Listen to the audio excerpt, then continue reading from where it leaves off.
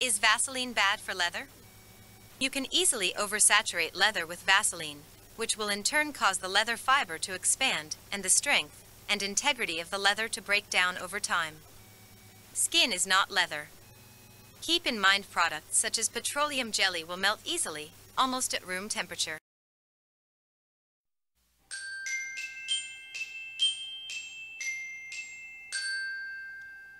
Is petroleum jelly made from whale sperm?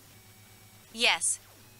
Robert Chesebrough, a young chemist whose previous work of distilling fuel from the oil of sperm whales had been rendered obsolete by petroleum, went to Titusville, Pennsylvania, U.S., to see what new materials had commercial potential.